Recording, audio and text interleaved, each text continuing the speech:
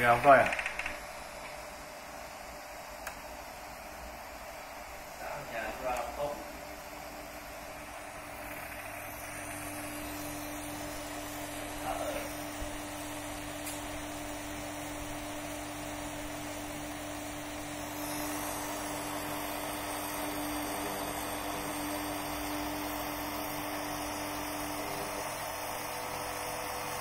tức là cái đó là nó coi ngày hay sao đó hay là theo lộ trình của xây dựng?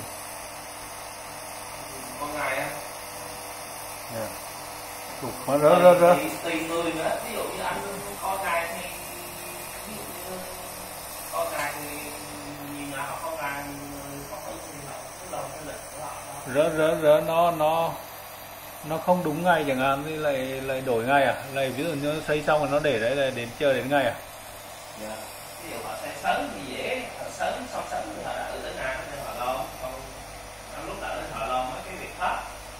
Còn ví dụ mà xây trễ thì cái việc mà xin là khác ở đây kịch vậy đổ từng tầng một coi ngày xếp thật. Thì anh đi ví dụ như hồn anh đi coi là họ cho ngày hết luôn đổ ba tầng luôn mà. Nó, nó, nó. Tức là ý, ờ, giả sử cái ngày đó mà nó nó không khớp với cái tiến độ xây dựng